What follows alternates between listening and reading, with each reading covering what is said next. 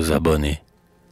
Oui, quand décembre arrive et termine l'année, quand le brumeux hiver, la tête couronnée, de ces mille cristaux, nés au souffle du nord, descend de la montagne sur la plaine grise, pose un pied frissonneux et glacé par la bise, donnons à tout besoin et donnons sans remords.